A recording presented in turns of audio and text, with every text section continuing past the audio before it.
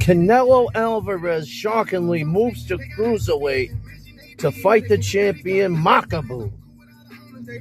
What do you guys think about that?